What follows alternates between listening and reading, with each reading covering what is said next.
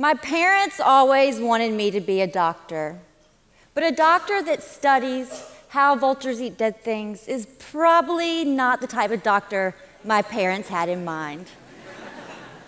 I study vulture scavenging behavior and how vultures affect crime scenes. I'm here to talk to you about how we take vultures for granted in forensic science.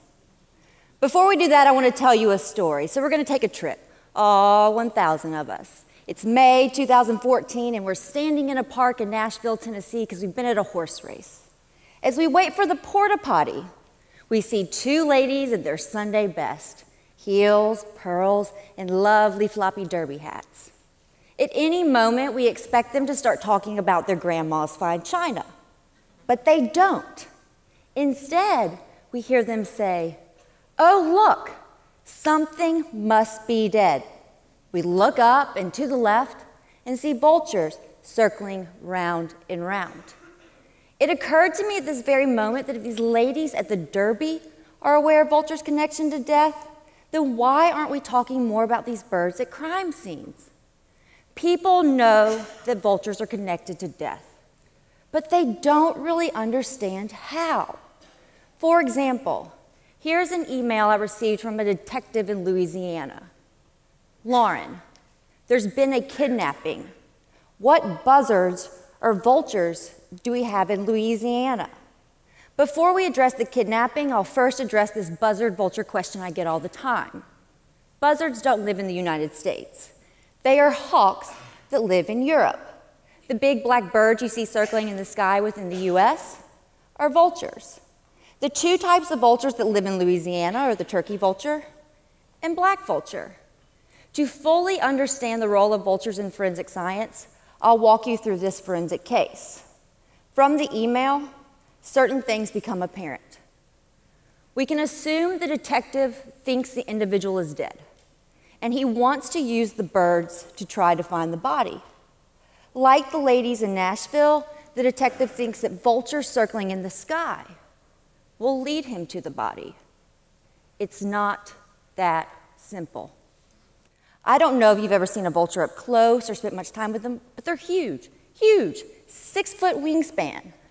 Vultures circle in the air because they are too big to flap their wings and fly, so they soar.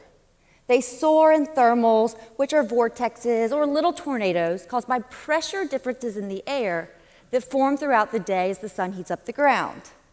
Therefore, when you see a circling vulture, the bird is usually traveling from point A to B rather than circling above something dead. Actually, if you want to use a vulture to try to find a body, look for a vulture in a tree or on a fence post. Vultures are too big and slow to hunt, so they have to scavenge. In fact, vultures are the only animals in the world that depend upon death as a food source. The turkey vulture that you see here is super cool because it's one of the few bird species that can actually smell. It hones in on the deceased by sensing a chemical that is coming off the body during decay. The evolutionary role of the vulture is to rid the earth of harmful toxins produced following death. Once death has been detected, the turkey vulture lands and quickly scavenges. Vultures usually remove the eyes first, then tear the skin, start pulling the tissues, and leave you with a skeleton. Therefore, the importance of vultures is not in the air, but on the ground. Vulture scavenging is somewhat gruesome. If you're ever on a bad first date, just reference this talk and I don't think you'll have to worry about your potential suitor giving you another call. Although gruesome, vultures are key forensic players, and here's why. Vultures will consume a dead human just like they will consume roadkill. But you don't ever hear about that, and it's because vultures are so good at what they do. If vultures depend on death for survival, and if they scavenge humans, then how can vultures be absent from forensic textbooks and training manuals? The answer the tradition has been for researchers to exclude animal scavengers from decomposition studies by placing a cage over the decaying subject matter. Why? Because researchers were afraid an animal would run away with their subject matter and they wouldn't have any data to report. Consequently, Excluding animals results in a lengthy skeletonization process, and this information is currently what detectives use during investigations. A lot of times at a crime scene, if people see a skeletonized body, they think, wow, this has been here for a really long time undiscovered. Oh, no, no, no, no, no, no. Vultures accelerate decay, and the skeletonized body could have been there for as little as five days if scavenged by vultures. The failure to account for vulture scavenging can result in forensic scientists inaccurately estimating how long someone has been dead and then searching through the wrong missing persons files. Therefore, the goal is to get forensic scientists to focus on vulture evidence and to get law enforcement to consider vulture scavenging and a possible recent death when skeletal remains are found. Let's get back to the importance of the kidnapping case. I responded to the detectives and told them that vultures like areas with water. They like areas with white-tailed deer. They typically arrive within the first five days following death. They're going to leave an intact spinal column and feathers. The detectives write back and say, We found the body buried in a shallow grave. We also found the feathers you mentioned. But there appeared to be a problem because the feathers were located 40 yards from where the body was found. The feathers were next to a bloody pine cone. Vultures aren't attracted to blood and they typically don't wander. They might wander 40 feet, but they're not going to wander 40 yards. That would be a waste of energy for a bird that doesn't know when it will get its next meal. So, my first job here was to determine if vultures were at the scene. Indeed, the feather by the pine cone was consistent with the turkey vulture. So, why in the world would a vulture wander 40 yards? One of the reasons I love vultures is because they tend to operate in a manner that can be explained by biology and physics. I started mentally going through the numerous baiting experiments I had conducted at a body farm in Texas. A body farm is a place where you can donate your body to science. I also went through my experiences with trapping and GPS tagging vultures, and then the year long process of monitoring vultures via remote GPS technology. Next, I brought up my field notes and had an aha moment. I knew of two things that would lure a vulture 40 yards from a body guts and brain matter.